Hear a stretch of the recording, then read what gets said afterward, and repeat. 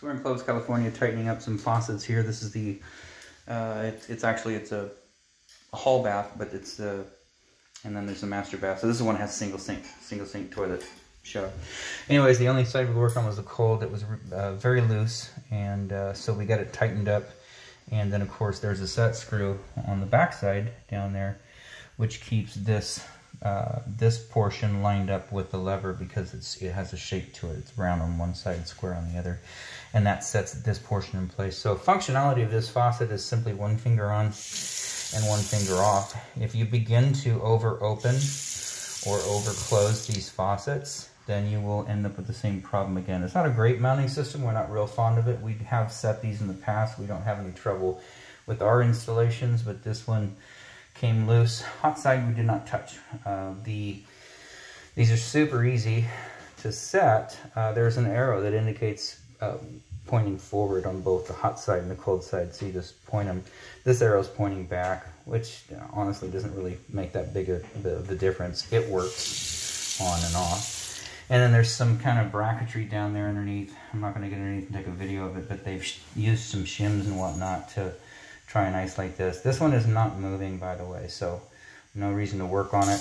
Hot water works, cold water works, everything's good. So we did work on the cold water over here. So be gentle with this. You know, if you if you crank on this, it, this will loosen up, and then the more you do that over a period of time, you'll end up back in the same situation. Um, so that's this bathroom. And then the other bathroom. we did both sides in here.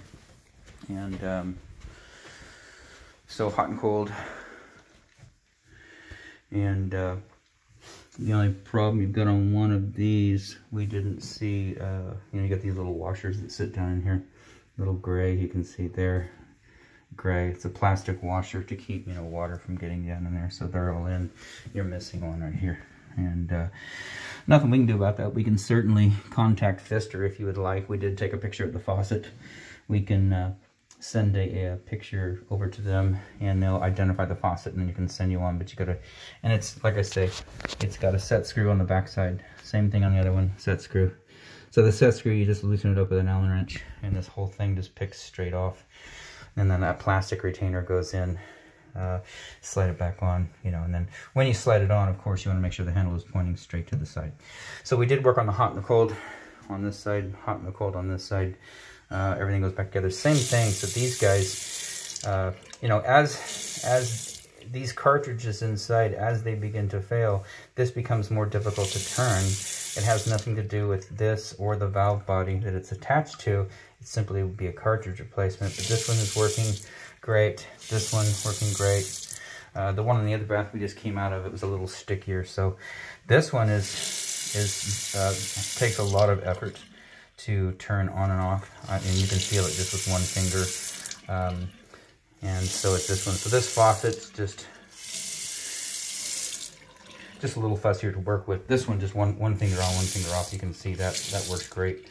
So, and that's a cartridge. So that's a separate deal. This still would need to come back off, get a cartridge and Pfister, replace it. And, uh, but anyway, so as long as you don't grab onto this thing and turn it off and turn it on and back and forth, you're going to be okay. But these, over a period of time, will loosen up.